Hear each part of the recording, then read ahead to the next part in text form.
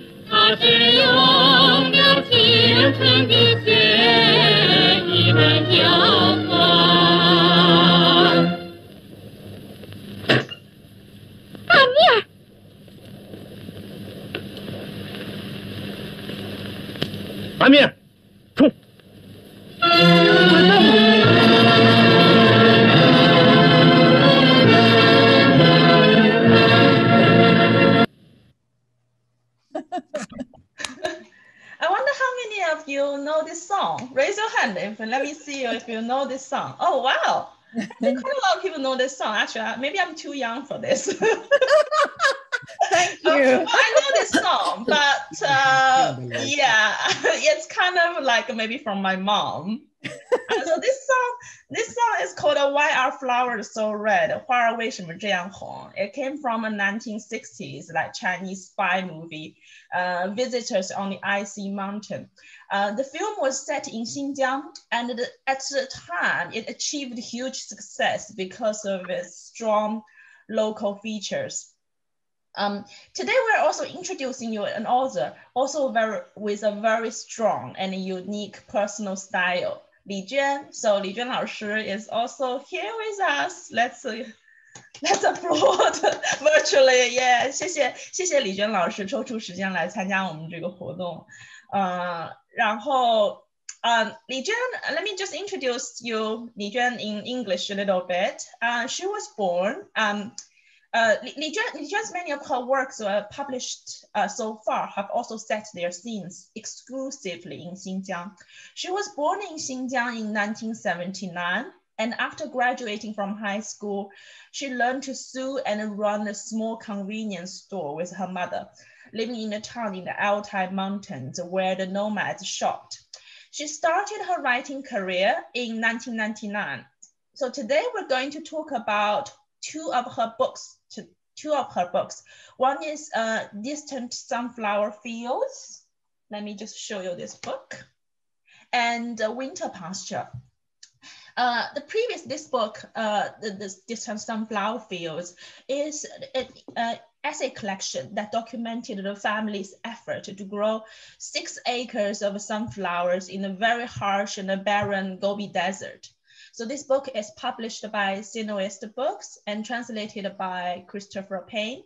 And we had a very pleasure today to have the managing director of, of ACA Publishing, um, Ying, and the marketing director, Daniel, joining us. Hello. Hi there. Hi there. Hi. Uh, would, uh, would Daniel, uh, could I ask you to tell us about a little bit about Sinoist Books? Why uh, do you have this imprint? Thank you very much for the very kind intro there. Um, yeah, so Sinoist Books, we're an imprint of ACA Publishing. We're a fiction-focused imprint of ACA Publishing.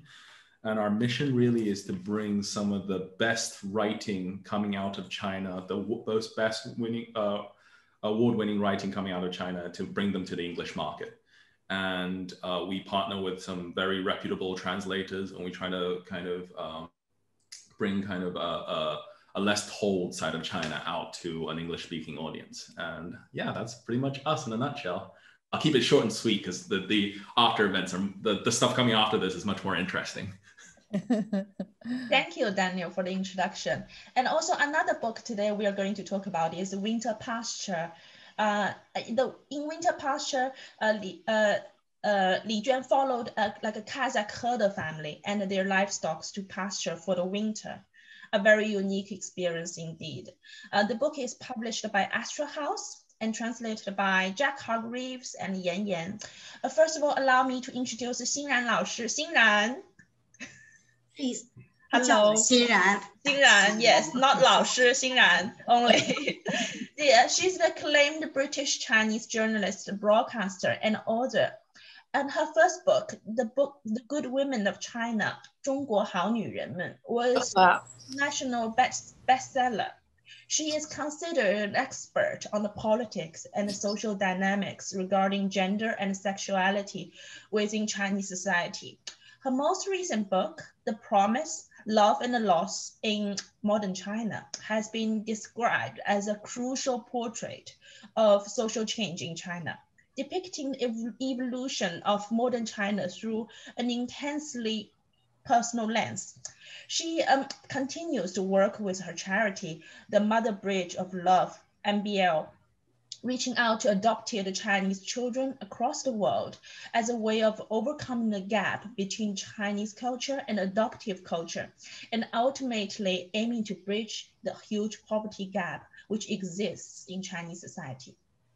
I also just mentioned that Jack Hargreaves is with here with us today, and he is a Chinese English translator from East Yorkshire, who worked with Li Juan to translate Winter Pasture into English.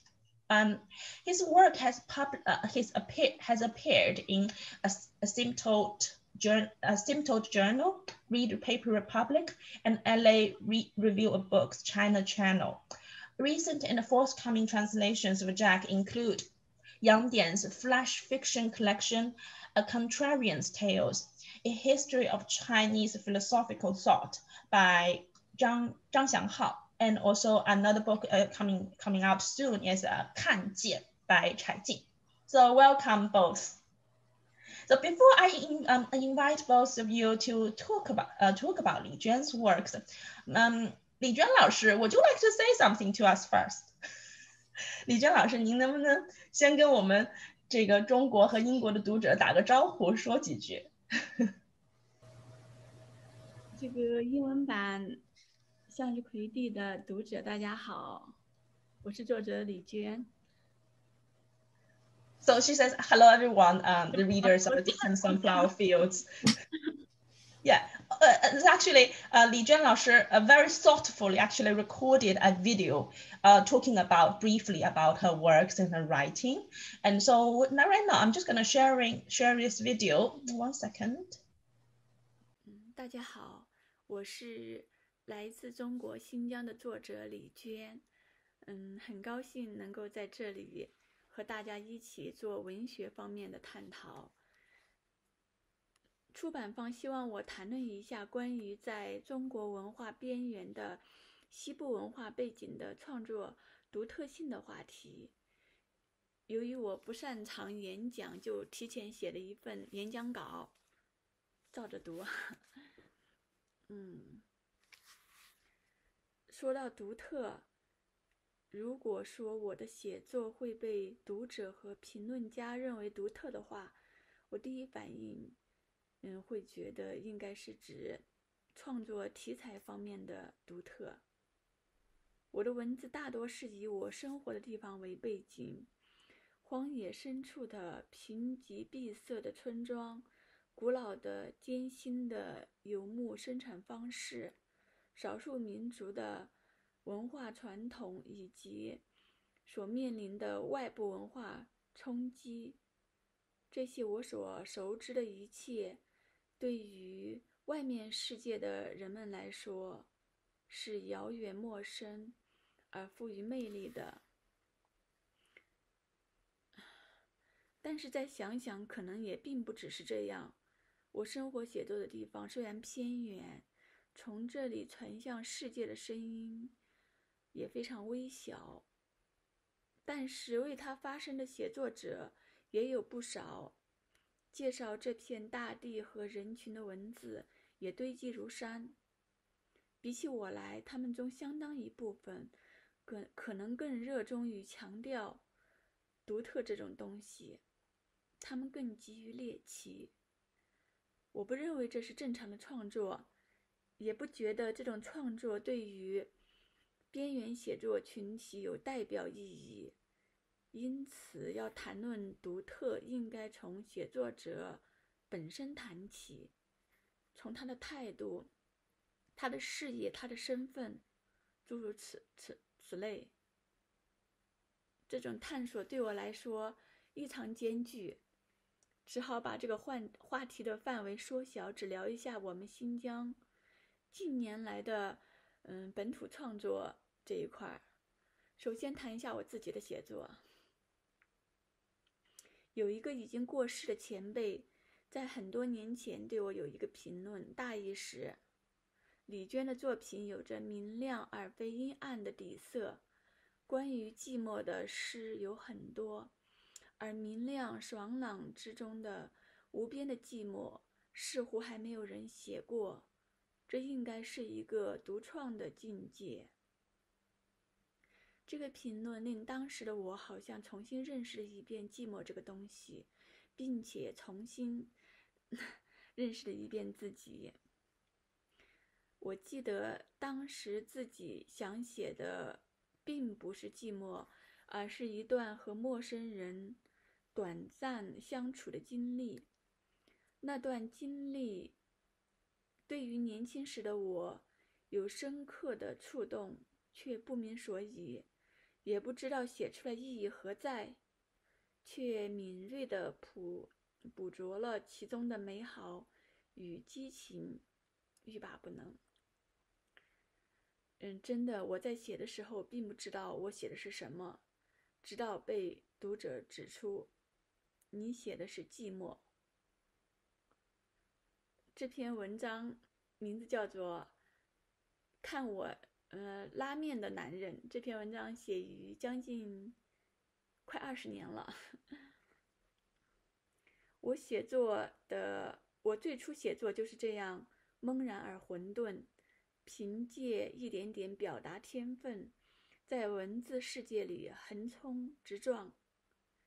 但是运气很好，获得了许多前辈和读者的认同，才得以持续成长和改变。是的，是改变。我觉得我正是通过不断的改变，才渐渐成为现在的自己。通过不断的否定自己、克服自己，永不改变是勇气和能力的体现。但是，勇于改变，同样也来自可贵的勇气和能力，还有自信。我有许多不自信的地方。但这方面实在是很自信。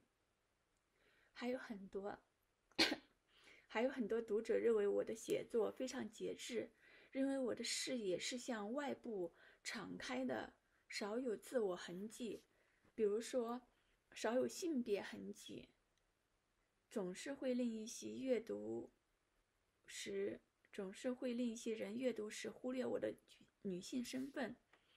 可事实上，目前为止。我的所有文字都是围绕我的个人经历 展开，并且只与个人观察、个人思考有关。如此个人化的写作，却带给读者相反的感受，只能解释为性格方面的原因。是我的性格让我不愿过多的暴露自己。可能也觉得自己大多数的时候实在不值一提吧。以上是我嗯自己对自己写作特点的一些判断，总结起来大致就是敞亮、开放、节制。然后再谈到我们新疆的作家群体，我觉得我们这里能够被广泛认可的作者，都有一个共同特点：文字擅长以小见大，他们很少依托大事件、大视野而创作。相当一部分作者都热衷于炮制独特。强调差异的时候，他们却更专注于相同。此地的人们与世界上任何一个角落的人都相同的那一部分，相同的欢乐，相同的痛苦，相同的希望。这些讲述者们赋予耐心和希望，心态积极而宽容。同样，在他们笔下，哪怕是寂寞。也处于无边的明朗，也处于在无边的明朗爽朗、明亮爽朗之中，所以这种寂寞并不是我的独创，而是西部作家文字中的普遍存在。新疆的哈萨克女作家伊尔克西，她的作品和她本人一样敏感又温和，她以女性特有的柔弱与固执，关怀本民族的。命运转折。新疆作家周涛，语言华美而从容，他总是能将种种纠结、复杂的人的情感处理得通透而诗意。还有新疆作家刘亮程，他以对各种平凡事物的描写打动读者，他总是从。一只虫子，一一株草写起，在最最细微的角落里处理最强烈的感知。还有新疆作家董立博，他的魅力在于文字中对所有普通人的体谅和关怀。像开始所说的那样，为这样一个作家群体的创作特点溯源，是个巨大的课题。但是我还是觉得，归结于地域原因这个方向是没错的。于是又说回了最开始的判断：除去地域对创作内容的影响，更深刻的影响在于他对作者本人。也许大概率下，面对什么样的世界，就会成为什么样的人。开阔、空旷、毫无遮蔽的生存场所，令世世代代生活在这里的人们敬畏天地和强者，接受自己的平凡，不愿过度沉湎自我情绪，而更关注外部世界，乐于歌颂与赞美。恶劣的气候、贫瘠的土地、艰辛的生活现实。令人们吐气无效的悲哀，而崇尚积极乐观的生活态度。地广人稀，令人们重视人口数量，依赖互助关系，易于信任陌生人，易于包容外来文化。而落后的交通、闭塞的信息通道，又以又令人们很难走出惯性。很难走出传统惯性，对于未来，心态矛盾、不安而又期待。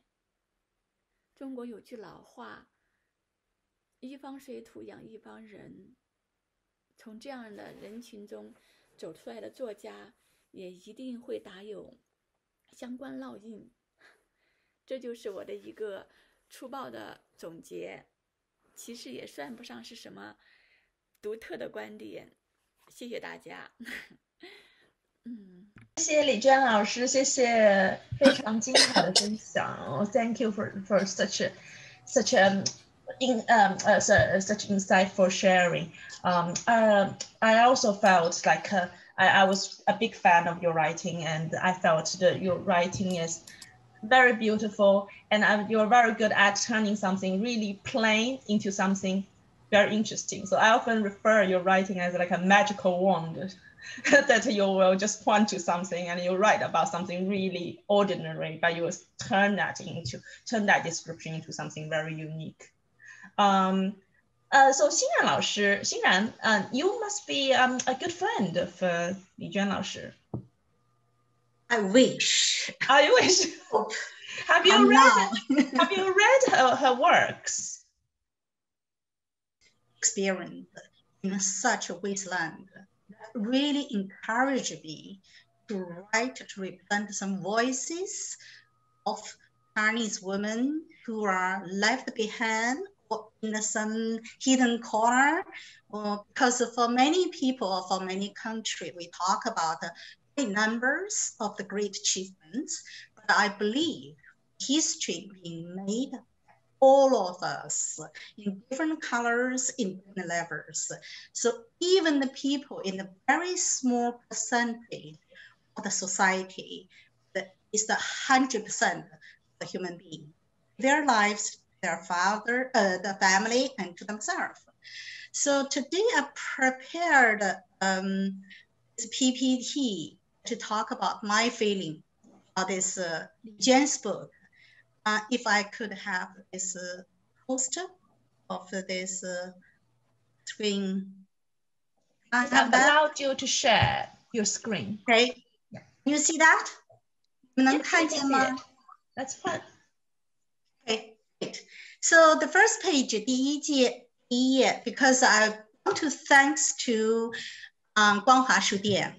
Want to thanks to you. publisher, um, 万社, um, because they have been tried so hard represent the Chinese writers from in the door of China and to the rest of the world. So I'm the volunteer for them and for my charity and for each single Chinese writer as well. If anyone need me, need a MBL or charity, please give a call and we'll follow your plan and we'll try best. And also, I really want to thank Li Juan. I hope in the future um, I can contribute a little bit uh, to your voices to be heard in the rest of the world. What I got, uh, I feel about Li Juan's book. Since I read her first book, second book, I realized something so familiar with the book I since I moved to UK in 1997. That was uh, uh, Anne Nan Shepherd. Why I think um, they are very similar or something very touched. So maybe not many people know five pound notes. Uh, since 2016, that is the lady and the uh, Scottish writer the note. That is uh, Nan Shepherd. Yeah. Why I thought or still believe they are very similar to each other, I want to show you from my research, the both. Okay. So you see, sorry, and this is a this page made me very proud of uh, my country. You see, when people talking about China, I think before many people thought China is just village. Now we can see China is almost the same size as Europe without Russia.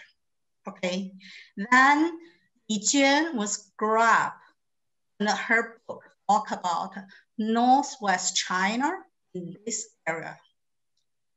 And uh, Nan Shepherd, her book is talk about North Scotland life. Actually, it's about the mountain, mountain called Ken Kendom Mountain. Mountain. So in this uh, geography here, in North UK and in the Scotland around the mountain area, the Li Juan's life, the, her book talk about in Northwest China is here. So from the landscape, we can see how similar they come from. Like Li Juan just mentioned, 一方水土养一方人. So you can see this both lady, they come from so similar landscape from North Scotland and the Northwest China in Xinjiang in the mountain area as well. And uh, but when, and when Nan Shepherd passed away in 1981, Li Juan was only less than what, two years old. So Li Juan writing, in my understanding or in my heart, is something like the continuing woman's uh, life or talent story of uh, nuns, Nan Sheffield. And uh, on my research between these two ladies, I found very interesting about their writing on the wildlife. Now in Shepherd, because she walked around this mountain a lot, so she wrote a book called The Living Mountain. So you can see and the wildlife from her writing and from a landscape, trees, animals, people's living around.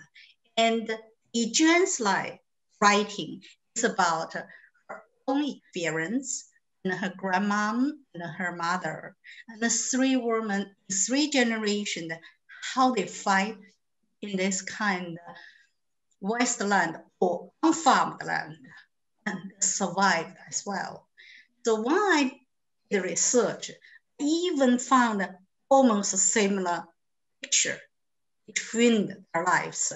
On the left side, that is from North Scotland and from this mountain area is uh, Pangbourne Mountain area's life. And this is Li Juan's um, um, life uh, environment. You see, even the kids have uh, holding different animals, happiness, and this kind of cute. I'm really touched by those kind of stories. Well, that's a long story and tell in the short way. So the books of these two ladies, you can see Nan uh, Shepherd, she wrote the book, Living Mountain. I love that very much. In Chinese, it should be Huoshan. Li Juan wrote quite a lot and this especially I love this kind you know, before was what I other type, other type is the mountain area I'm talking about is here. And uh, back to, you can see the landscape and you can see the location. Okay, the location is uh, this area and the landscape is like this. So lifestyle is like that. So that is in their books.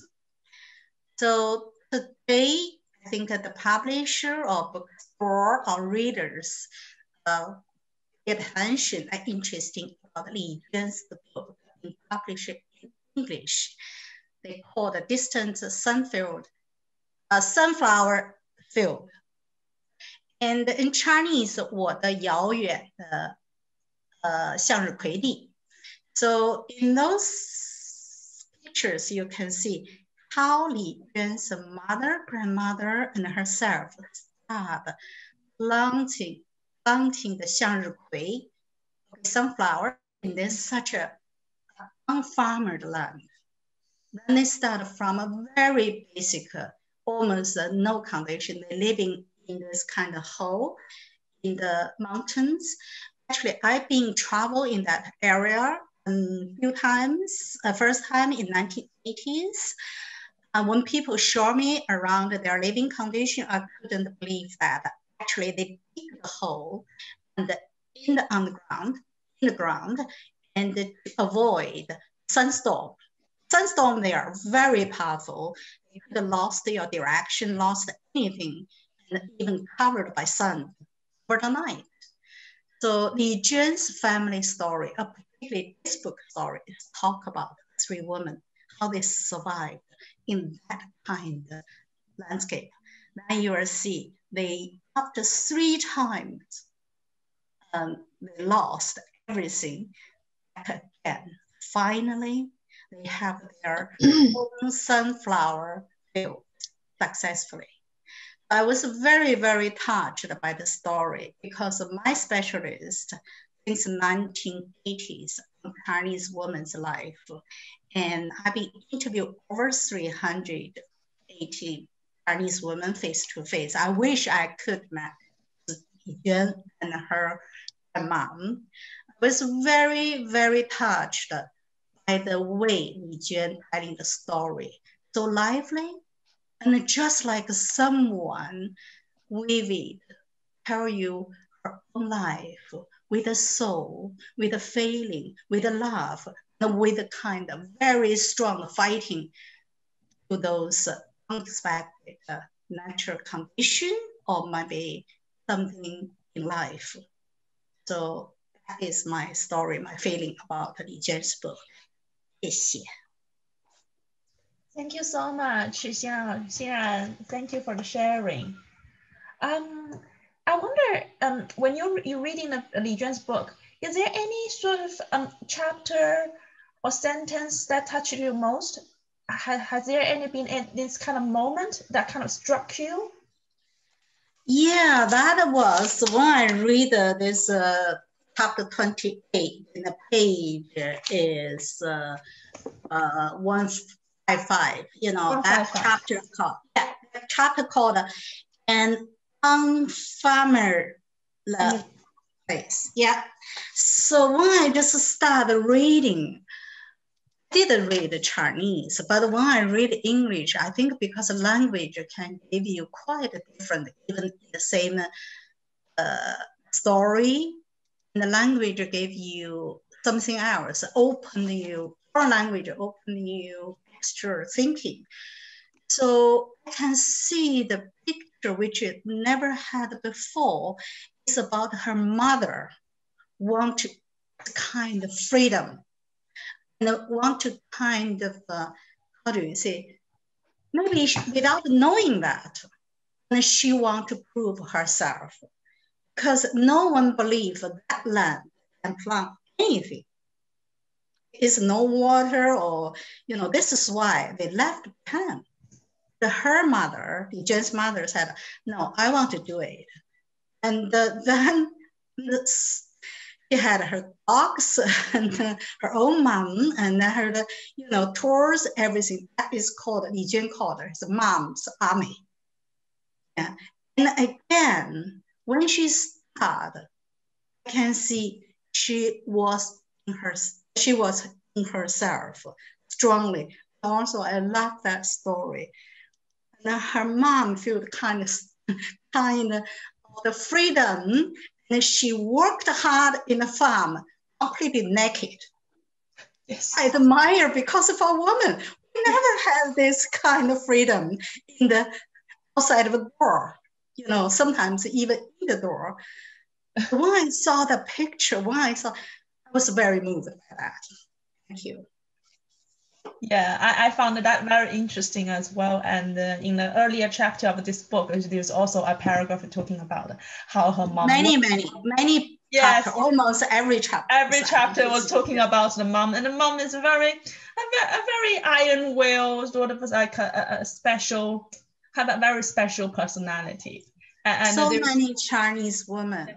Yeah, you read that story. Yeah, I have to say you understand why China survived from almost a hundred years, civil war, warlords war, and political killings, and just stand up again in 40 years time. Mm-hmm. It's not just political or leaders mm-hmm. only.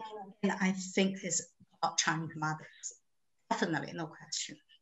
And I'm sure you cover the, the quality of Chinese women a lot in your book, The Good Women of China, as well compared to Li Juan, Now I'm, I'm just very small student.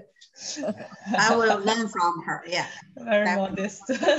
欣然，你太客气，你太客气，欣然。那没有，心里话。我我我呃，I uh, know that there are lots of people here speaking Chinese. Um. I just would like to explain a little bit to Li Juan 老师 as well. 呃，欣然老师 and I just talking about，我们就刚才在说，就是说在您的作品里面有，特别是这个呃，遥远的向日葵第一这部作品里面有特别多的这个对于呃您的母亲的这个形象的这个描写，然后我们都觉得非常非常的有意思。您的这个母亲的，您对这个母亲的这个这个女性形象的描写是非常特别的，非常深入人心的。所以欣然老师作为一个写也也非常一个非非常善于书写中国女性题材的作家，他在这边也是。分享能给他解释一下这个图片吗？我能给他解释一下。可以，可以，可以，可以。哎，快快的一分钟，李坚老师啊，嗯，对于您的作品呢，我不仅是感动，而且做了一个小小的调研。我发现您的作品，苏格兰的一位作家，就是在英国英苏格兰呢，他们有自己这个田地。那么在二零一六年，他们选了一位英国的女性作家。这个作家呢叫 Nan Sheffield，她现在呢在二零一六年就被放入了苏格兰的五英镑的这个面地上，所以可见他的这个受尊敬程度。那么我觉得您的写作呢跟他很类似，而且呢可能是因为我是中国人，所以我觉得您比他写的更鲜活、更细腻，而且更有人的情感。那么这个 Nan Sheffield 呢？他写的是苏英国在北部有一座山，这这座山的名字呢就是安德姆山，中文上可以这样说。那么您呢，我做了一个对照。那么他写作的这山的这个生存环境呢，就是我刚才做的这个比较，是他写的生存环境。那么这是您写的您的这个生存环境。那么接下来呢，他更多谈的是。这个山上的这些呃生物啊、植物呀，以及很少谈及就人们的生活，而您呢谈及的更多呢是家庭的这种经历。但是呢，很出奇的是什么？是当我搜索到这些地区相同的这个图，呃，这个地区的时候，我发现了很多相同的图片，很感人。那这是他的书和您的书对应的一些介绍。那么最后一个呢？是关于您的书的英文版的一些介绍，谢谢您。谢谢，谢谢，谢谢，再次谢谢欣然。So, Jack, you've translated Winter Pasture 冬牧场 uh, into English. How did that go? Was it a challenging journey?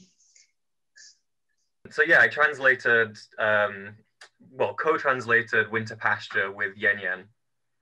So because we've only met the once via screen, this being the second time, I only know as much about Li Juan as I can find in her books. Um, and the, the kind of the only unique individual perspective I can present is that I have the experience of translating her. So I'm going to go at this talk from that angle um, and give you some challenges. Um, Vivian offering the beautiful segue there. Um, and there's there's kind of three or four that I'm going to go at it from, and hopefully there'll be you'll have some insights into um, Li Juan's a little bit more into the narrative and the the themes and the stories behind at least Winter Pasture. Although there is a lot of overlap between the between Winter Pasture and Distant Sunflower Fields. Mm-hmm. Um, and I'm going to stick mainly to English. So I'm sorry to all of Li Juan's fans who are on from China at the moment, but it's Saturday morning and I haven't had any coffee yet. And it would, I would, I would only come what out. An excuse. I would come out looking terrible um, if I tried Chinese for that for that long. Anywho, um, okay. Uh, so starting off with some common phrases that were very difficult. Yeah. Chinese, one of the things, one of the challenges translating Chinese into English is Chinese is really generous with repetition. Um, and repetition in language is absolutely fine and often works really well, um, has a lot of rhythmic benefits and also thematic benefits in terms of like emphasizing certain ideas. In English, it's grating on the ears, as you all know. Um, so there are a few words that come up a lot key words that we had to decide, Yan Yan and I had to decide how to translate um, because they really cite people in a situation in the setting and also give people a really clear idea of what's going on. And the two words I've chosen are to go over, so to keep this relatively quick, is uh, Huangye and um, Jijing, which I will put in the chat for y'all to see. Uh, oh, and I put in Jimo as well because um, Li Juan Lao Shi um, mentioned that word, and that very much um, cognate with um, Jijing. So Huangye meaning kind of wilderness or the wilds. So this is how Li Juan describes her setting, um, the setting where she is, which is the winter pastures, which is in winter pasture. It's the area from the Ulungur River in the Altai in the Altai region of Xinjiang province in the northwest of China, and it stretches down to the Tian Shan to Tian Shan to the Heavenly Mountains, and so this is vast swathe of land. Um, and that's the winter pasture. And then further north than that, there's the what comes after winter, spring pasture, uh, the autumn pasture. Further north than that, the spring pasture. Further north than that, the summer pasture. Um, and uh, because they're chasing, they're kind of making sure that they're not freezing as they get further south, but also they are putting themselves, the nomadic Kazakh people I'm speaking about, in an area where there it's cold enough for there to be snow, which is the only source of water while out in these wilderness or these these wilds. Um, so in the word Huangye, there is a sense of the Ye means wild. The Huang means kind of desolate and barren. So you get an idea of what this place is like from that word. Um, as for Jijing, um, silence, quiet, um, this was the word that really represented quite a few um, challenges because it comes up a lot. And someone put in a chat another Chinese word as well, that same meaning. I think they put Jimiu uh, and there's Jimua, and these words are repeated over and over because it's silence, quiet, stillness. Um, is really much of the experience while in Xinjiang, um, at least as this book. Someone just asked, Annie, Annie has just asked, have you ever been to Xinjiang? No. So all of these, all of this experience that I'm relating to is indirect via the book. So this is what I've um, gleaned from it. Um, but so it was a challenge translating that word because we couldn't just keep putting silence. Um, but I'm not, I'm not going to go into the the discussions of kind of what we came up with and all of the various ways we uh, we rewrote it. Um, you're not necessarily swashbuckling Li Juan. So I don't know how to say swashbuckling in Chinese. I wish I could. That's a phrase I can't pull off the top of my head. Um, and for me, compare there were the comparisons that kind of maybe fit a little bit more for readers of Chinese.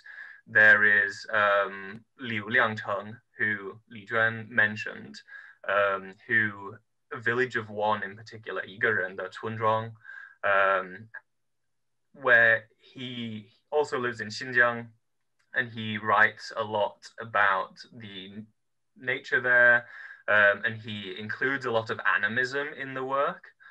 Um, in the same way as Li Juan does, there's a beautiful passage in Winter Pasture where Li Juan, very bored, is walking out into the wilderness and is finding things to do and she's collecting pebbles and then she's following the tracks of the various little critters um, in the snow and in the sand um, and she's creating stories for these little critters as they weave their way between um, their various burrows or holes in the ground.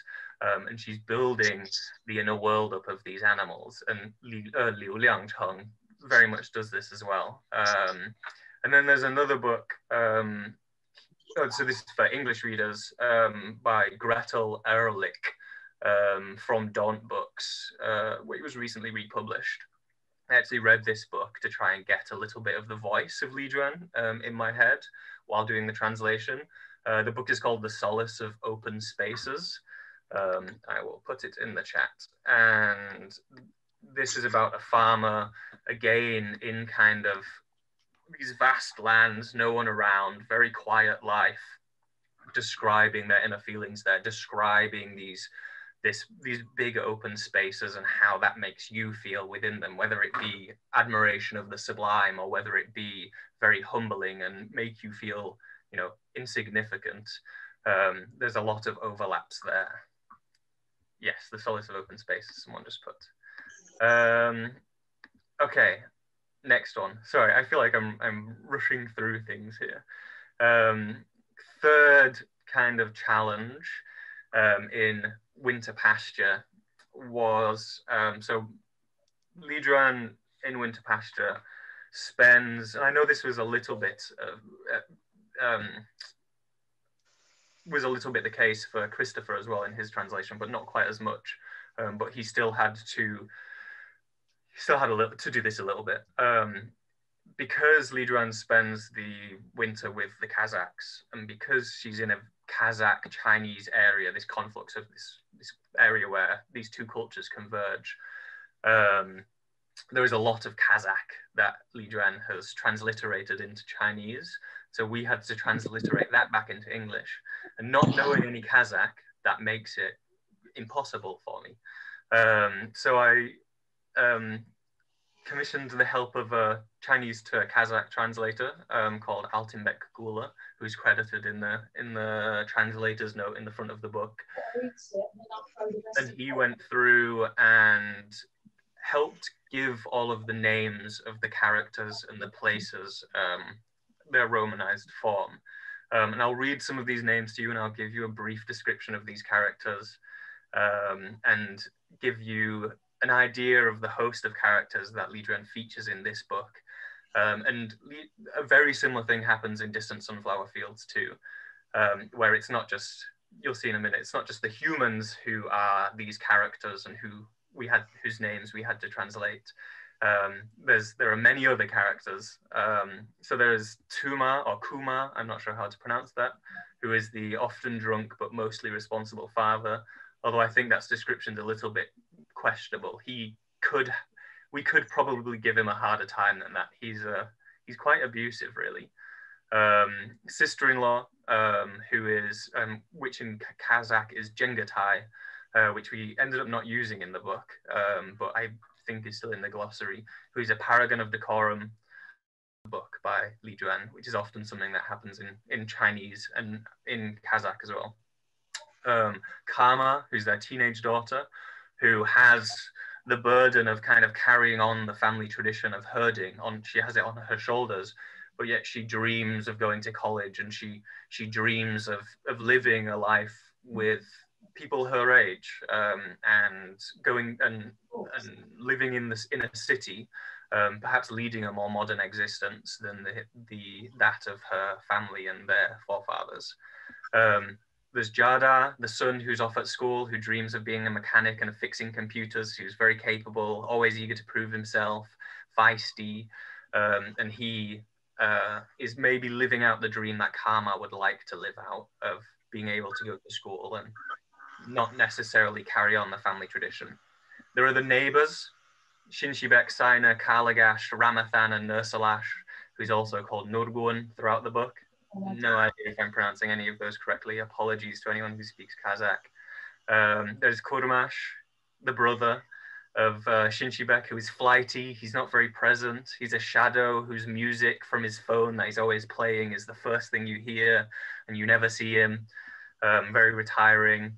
And then there are the animals um, who get a big feature, like in some distant sunflower fields. There's plum blossom, so named because of the pink and red dots spray painted on the cat by, as I said, the very abusive Tuma. Um, panda dog, um, who is the dog there who has puppies and who um, has to battle against this very harsh, um, these very harsh elements in order, in order to live as a dog with not much food. And then there are all of the livestock the cows, the camels, the sheep, the goats, the horses, some of them named like the patch faced bull calf and young pioneer, many of them without a face really, but yes. their per- Li Juan um, brings out their personalities throughout the book and really describes their inner life um, in lots of detail um, in a very evocative way. Um, her mum, who features only indirectly in this, um, is a big feature in Distant Sunflower Fields, and I saw that some people in the comments are saying how much they love um, Li Juan's descriptions of her mum and how she portrays her mum in Distant Sunflower Fields, um, and she does. It's it's a very wonderful and yeah, uh, vivid um, portrayal. Yeah, young. Someone laughed at Young Pioneer a second ago. Young Pioneer is so named. He's a, Young Pioneer is a goat with a little red um, bandana wrapped around its neck, um, like the young pioneers of like the Communist Party. I guess like the maybe in England like the Scouts or the Beavers, like that kind of equivalent. Um, and so she's the goat is called Young Pioneer throughout.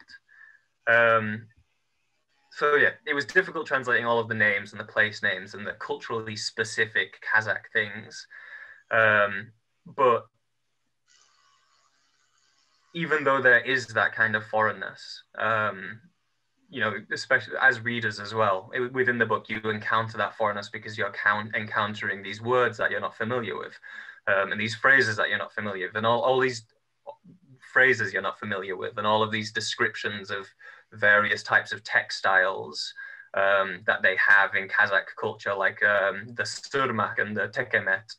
Um, and while described in the glossary, you know, it may be hard to picture them just reading the words themselves, but Li Juan does a beautiful job of citing you in the setting and bringing you into the room.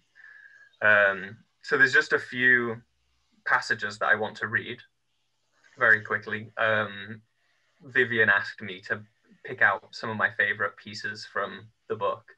Yes, and I, I, absolutely love the dynamics here because we've got so many Li Juan fans and they know exactly what you're talking about and they want to think, they think, oh, that's funny, that's the character I love. And I like this kind of energy here in our talks. Yes, please go ahead. Cool, thank you. Um, so uh, there's, there's, I picked out three, oh no, I picked out two. Um, and they also speak a little bit to a, a, point that I briefly want to make, and then I'll I'll shut up um, and let you all go on with your Saturdays.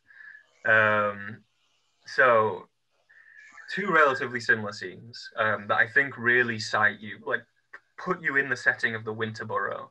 Now, briefly to describe the Winter Burrow, the Winter Burrow is a hole dug two meters deep in the ground in the winter pastures um, and it's covered over with straw and sticks, and then covered over with mud um, for the ceiling and the roof. And the Kazakh herders during the winter live in this um, burrow. It, in fact, it's not just only mud, it's made also of sheep manure. Um, and the reason they live in this burrow, and specifically the reason why it's made with sheep manure, is because of what she describes as its magical quality of keeping heat and, and kicking out heat constantly. So in the very cold, harsh winters, um, they spend a lot of very quiet moments within this winter burrow. So this is one pasture, uh, one pasture, one passage. Um, on another of those evenings beneath a perfectly round moon, a great southwestern gale filled the world with howls and hisses. But beneath the earth, it was as quiet as the bottom of the ocean, except for the occasional flapping sound made by the flimsy plastic covering the high window. Kumar drank his tea in silence. During those in between moments when she wasn't serving tea, sister in law embroidered. Jada stared at his phone. Then the door opened and Kamar came lumbering in, holding an unweaned calf across her waist. Those moments profoundly triggered my curiosity. I wanted to know everything, but I didn't know where to start. I was only an outsider.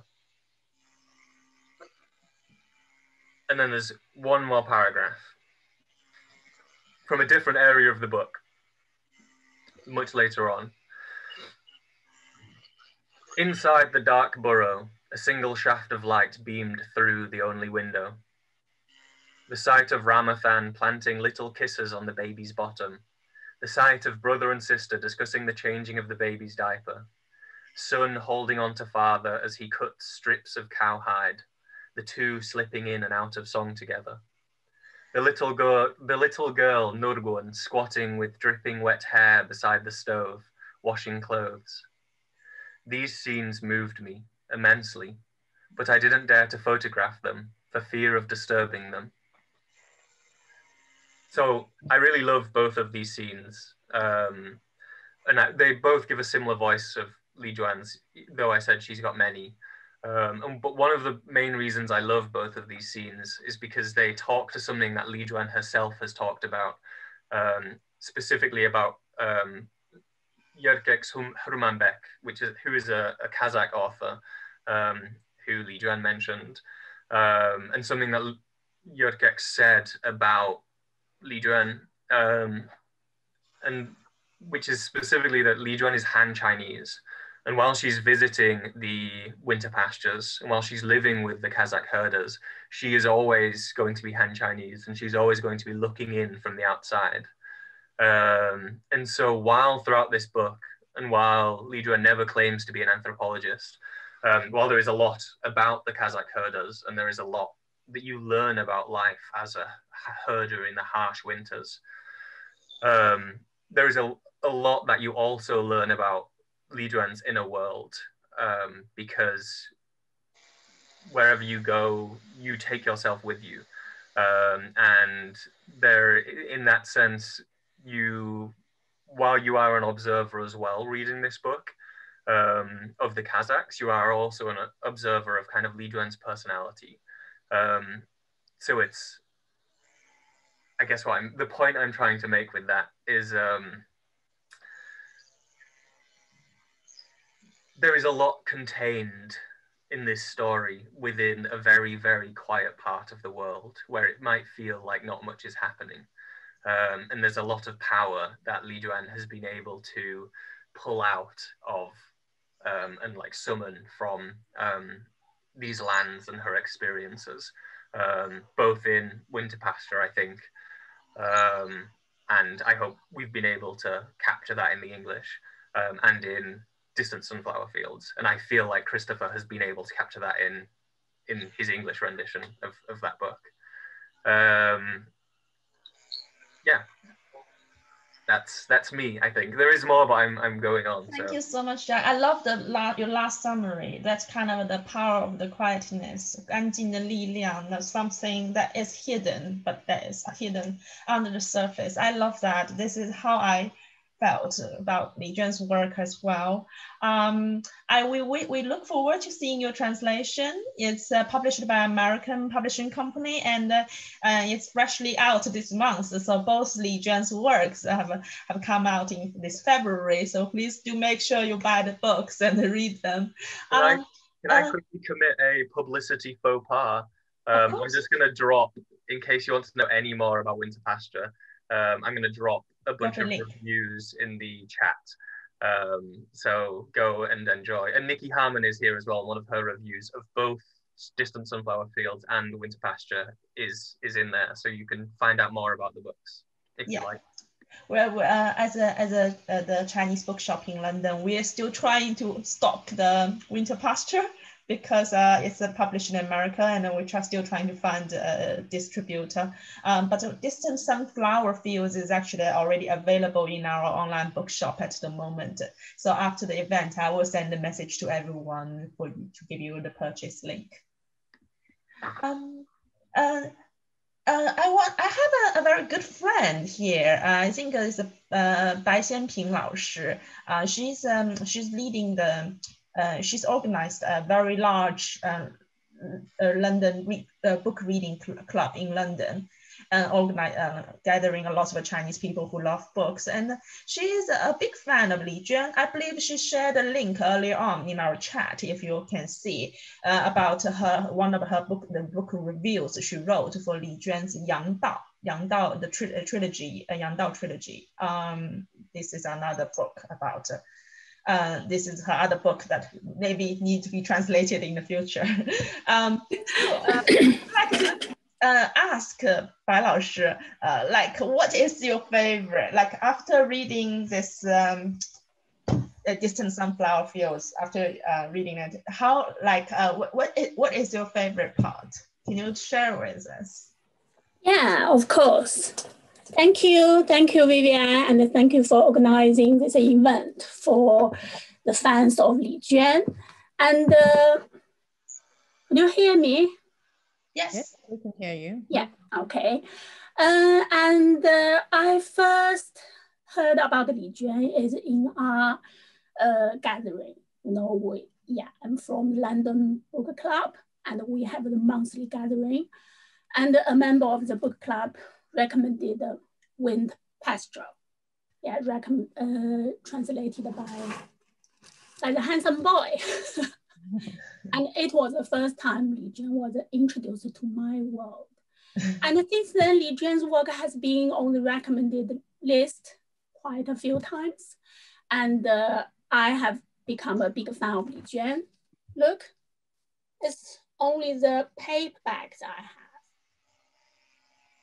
And uh, I dare to say I have read every single copy of Li Juan's book in Chinese and uh, some in English. And I hope uh, more and more Li Juan's book can be translated into English to, yeah, as a window of Xinjiang. And the most recent one, of course, I have read is this one is uh, Sunflower Fields. I bought this copy in airport bookshop and finished it in one sit. Yeah, and it's uh, still it has typical Li fun, easy, passionate, and true to yourself style. And uh, among this book, they have lots of essays in it. And uh, my favorite one is is called Yonghong Gongshe. I think in English it's called Forever Red Commune. Uh, this one, this topic. And the term of commune brings me back to my childhood. And uh, when I was about four, five, and we, I visited my grandma regularly, and she lived in a town, uh, a commune. Um, and uh, I, it reminded me of the old time. Um, I was moved and I was tearful when I read this piece of, of writing. It's so beautiful. Uh, and uh, as I would pick up two, two details that I think is, is, is so wonderful. And the first, first one is in the bus station, in the transport station, and Li Juan wrote, I read it in Chinese. 呃，在这个客运站，我买到了一张二十年前才盛行的那种旧式车票。售票员在车票的空白处写下时间、车次等信息，再把票从票根处撕下来给我。 他撕的那一瞬间，我担心这一切会突然消失。我持票看了好一会儿，觉得往下即将踏上的是一段时光的旅程。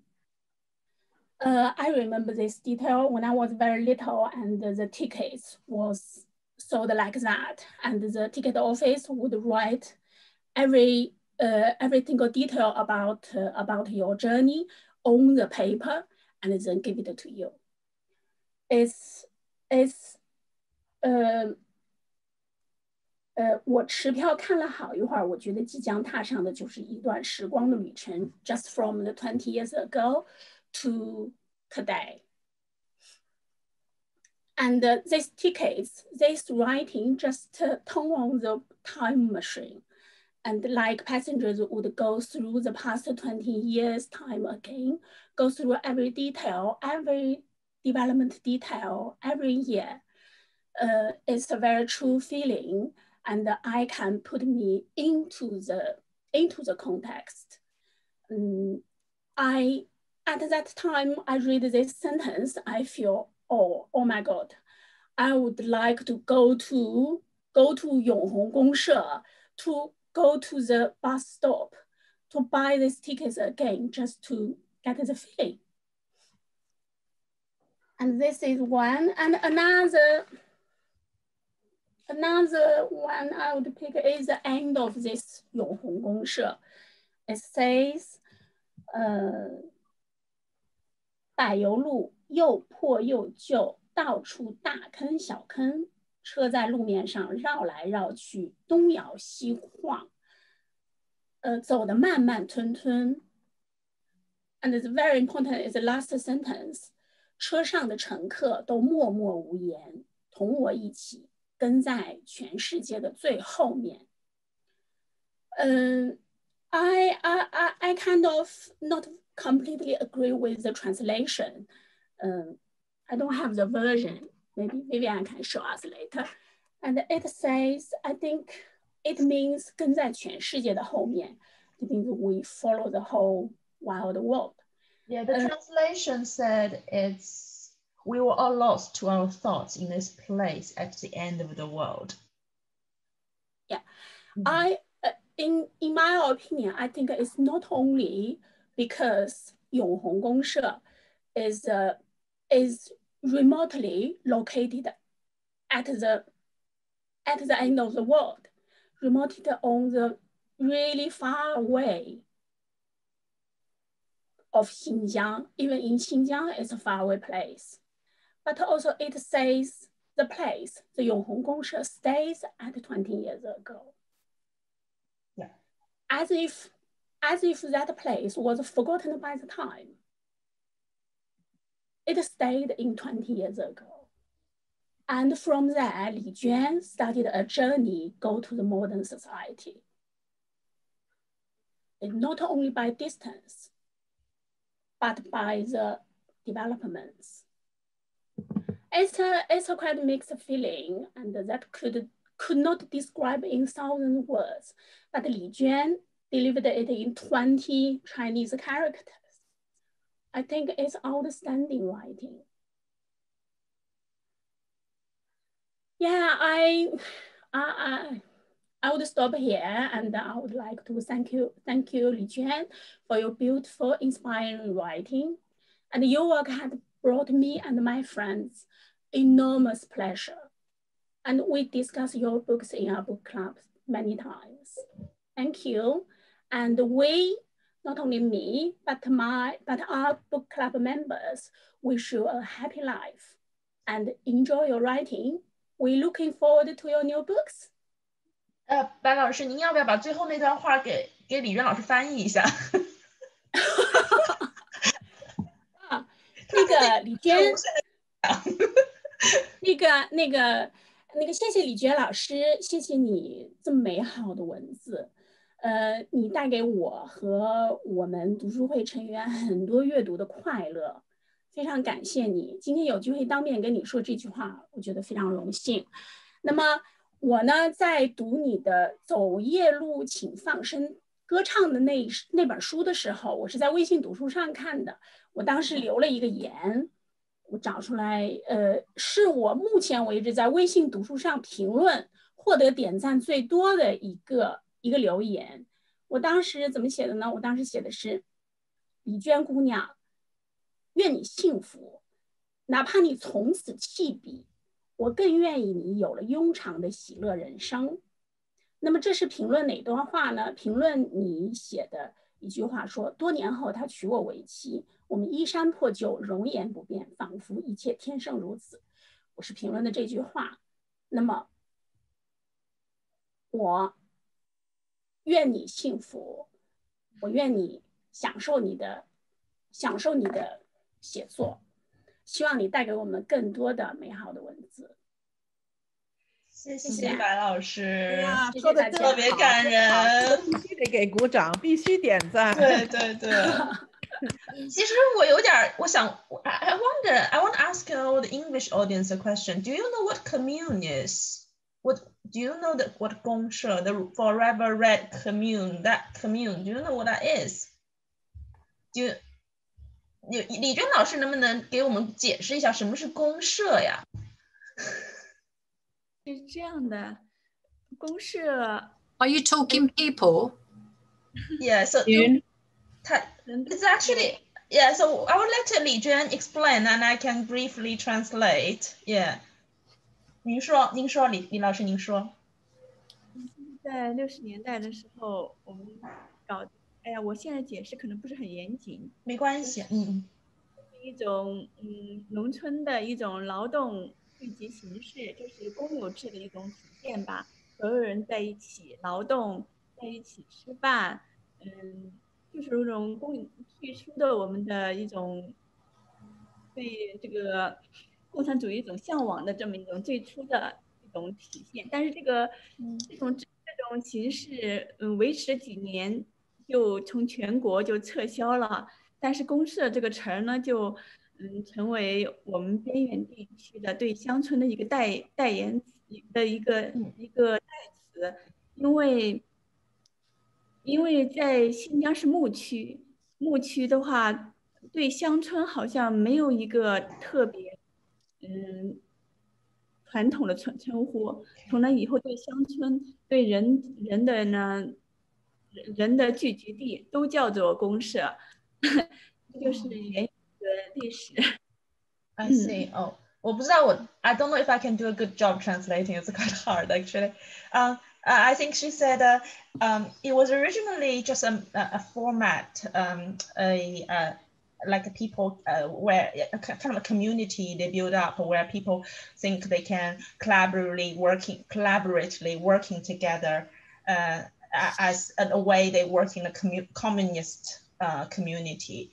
Uh, but of course, um, that kind of idea uh, did not last very long. So after a few years, the, the, the real idea of people working together towards uh, distributing their resources evenly, that, that kind of format has disappeared. But because in Xinjiang, it's, um, it's, uh, it's, it's traditionally already a farm, like a farmland. So there wasn't like a really a, a clear distinction between city and countryside.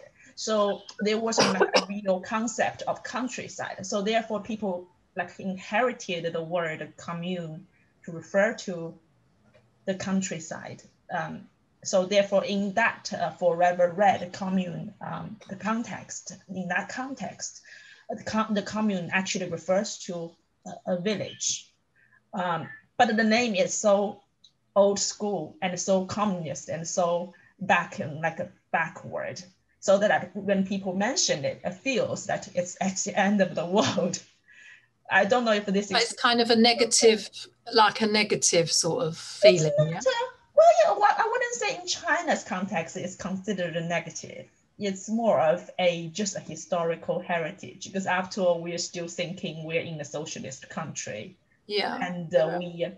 we we were not it was just an, it was just a um a um a, a sort of community that kind of a, the way the, how it works didn't kind of work out yeah is there different levels of commune do you think that's what i wonder if there's different levels of it. You know the actual yes. word. I think there is because i was brought up in quite a close in london but quite close community um, where we did um, we did share things and do things. And like you know our neighbors we was always knocking on each other's doors and stuff. And it was quite a community but it's sort of commune but it wasn't so organized as a mm. commune as such but it was still a sense of community you know it's uh, so i think that can be a very positive thing. That's what i'm saying not just a you know a communist or, or sort of that sort of thing but i think it happens everywhere but in mm-hmm. different levels you know different kind of levels. That's what i think commune, you know.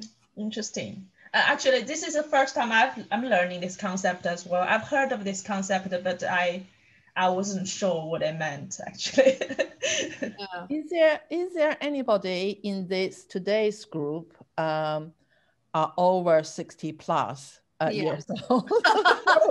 Definitely. That's very only that that year, people can really understood yeah. what is Gong Gongshe, you mm. know.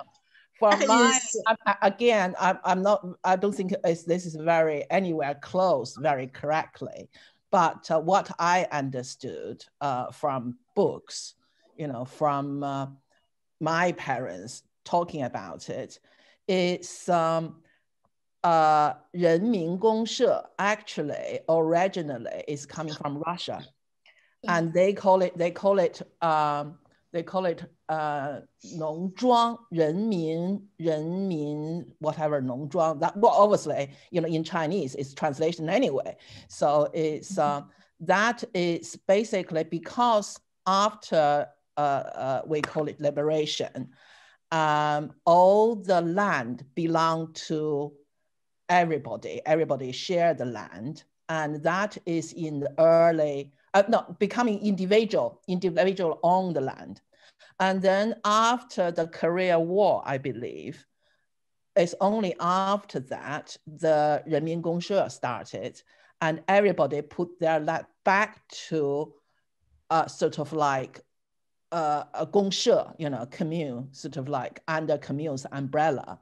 So everybody starting to um, going to their common land to work, and each day they are getting their token for how many gongfen, you know, on, for that day, mm-hmm. and everybody going to the uh, public uh, hall for for for, for their meal, you know, for the three days meal basic that is about only i think three years probably. And then um, three or four years. And then after that it's um, they sort of like uh, becoming you know individuals still you know uh, taking care of their own cooking and their own food. But uh, literally, you know, uh, they are still working on the common land. So that is a 公社, you know, basically, you know, that, that is how it works, I believe obviously at that time I wasn't born yet, so, so I wouldn't but you read you read um, books about it, you know, you you learn that is how it works basically, right？李娟，李娟老师对吧？我说的，就是我说那个公社在，当然是我还没有出生的时候，那个时候就已经，呃，就是呃所谓的今天的那个大锅饭。 实际上是从那个时候来的，是从那个。哎，对了，欣然，你知道，你给大伙儿说说吧，什么是公社？没有，很简单的说，呃，人民公社实际上是大家说的几个点都很对。从我的历史 research 上看，人民公社实际上它是一个政治的这个生产单位，是从一九五六年开始有苗头，然后一九五八年的大跃进。一直到一九七九年、七六年文化大革命结束，实际上人民公社一直到一九八一年是彻底解体的，就是从我这儿的调研。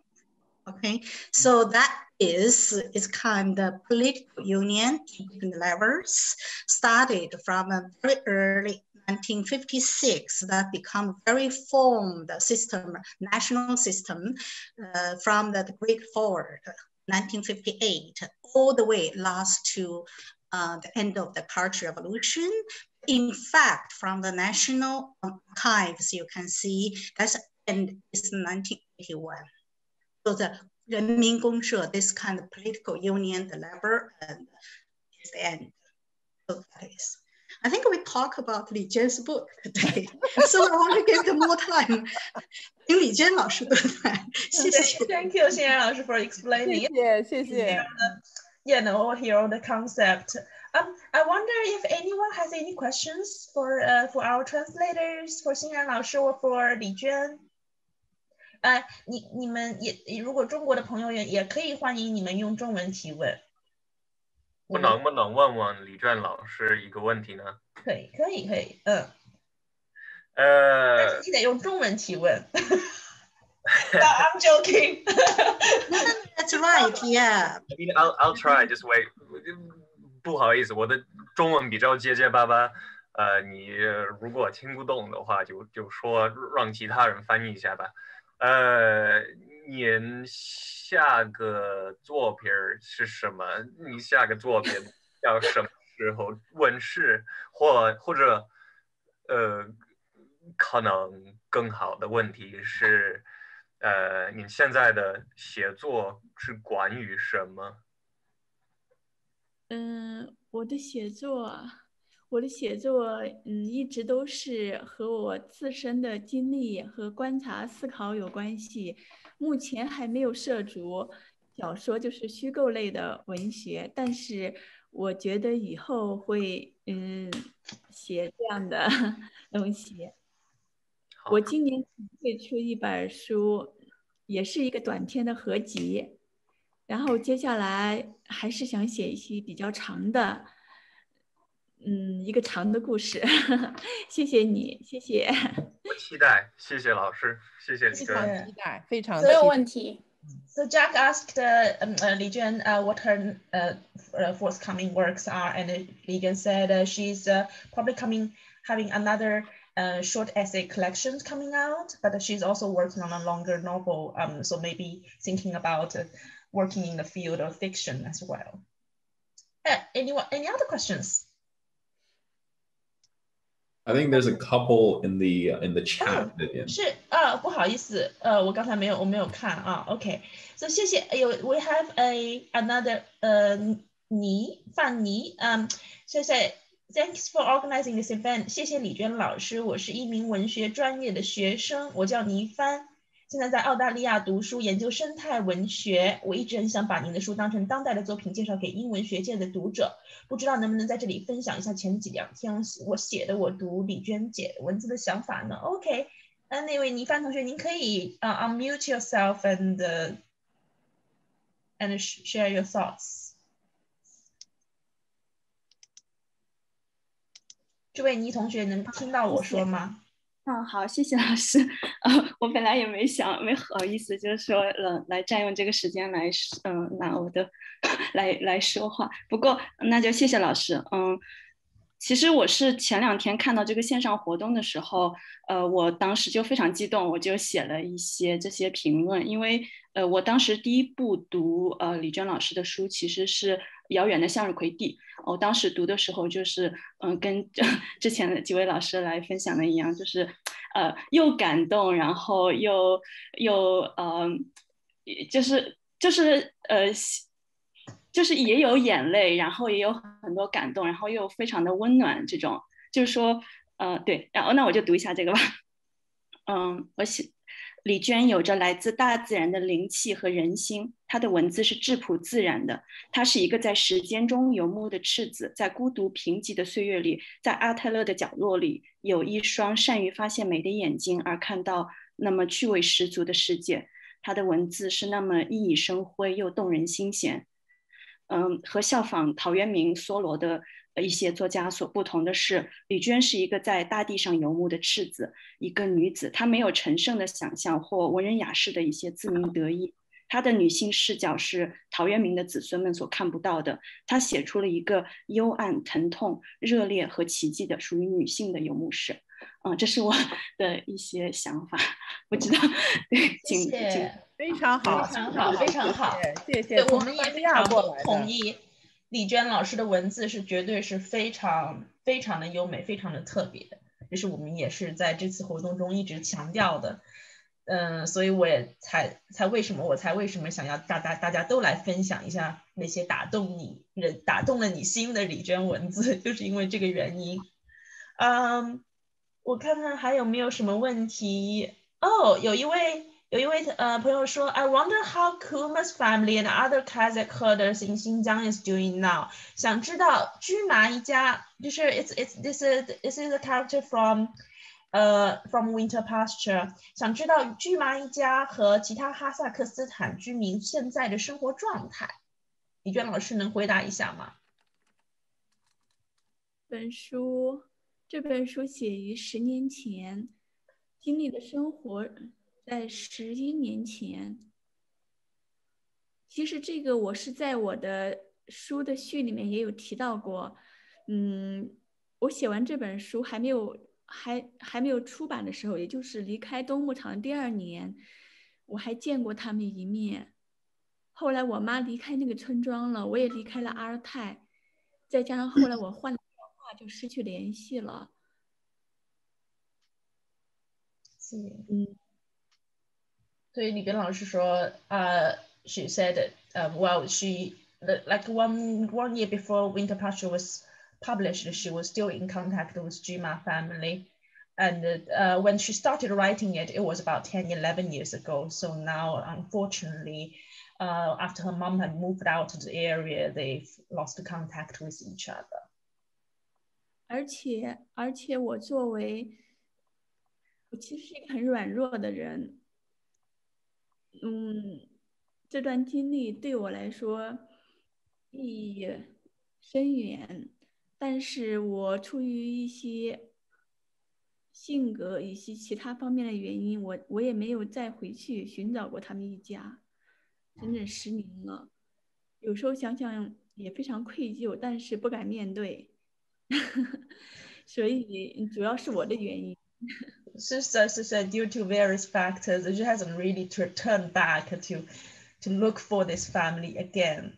She sometimes felt guilty, and she's obviously a very sentimental person. She, um, this this journey with them has had what meant, meant like meant a lot to her.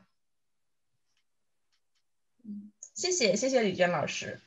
好，呃，所以我们在最后，shall we have the last question, uh, Daniel? because uh, we we've stretched our event actually yeah, quite a, some time. But it, really, uh, thank you so much for everyone here because I, I not only did I enjoy this discussion, I also enjoyed the chat where people were the the audience from China are typing to explain their thoughts um, to our English audience, and that's just a wonderful exchange. 嗯、uh,，我想说。有呃有我们的也是我们的白白老师想问李娟，在你已经出版的作品里，您最满意的是哪本哪些？So what's your uh to this is a question to Li Juan. Um, what what what's your what's your favorite um what's what's your favorite work? 我最满，嗯嗯，还真没有特别满意的作品，但是。如果要比较的话，我比较喜欢我最近的，嗯，这部作品吧，就是《向日葵地》，因为在我所有的文字里，它是相对写的比较轻松的，但它也未必是最好的吧。但是，嗯，相对，像李娟老师说，我没有听明白你的意思，请再说一遍好吗？怎么回事 ？Uh, so uh, Li Juan answered uh, she she's she's not satisfied with any of her works. She's not hundred percent satisfied with any of her works. But if there's any um anyone that is her favorite, uh, it would be this uh, recent distant sunflower fields um, because it's uh, written in a quite a relaxed relaxed tone, which is I guess a little different from other works. Okay, so thank you so much everyone for coming. And uh, uh, uh I will send a, send out a book purchase link after the event. 是非常非常感谢李娟老师今天抽出时间来参加我们的活动。And thank you Xinran. Thank you Jack, and thank you Sinoist Books, Daniel and Ying. Thank you everyone uh, for your contribution today. 谢谢大家，中国的朋友们晚安，and 英国的朋友们。uh, people in Britain, please enjoy your sunny Saturday. Thank you so much. Thank you so bye much. Bye. Thank bye you bye. so much, Vivian. Thank you, everyone. Thank you. Bye. Thank you. Bye bye. 谢谢所有人。再见。再见，再见，谢谢李娟老师，拜拜。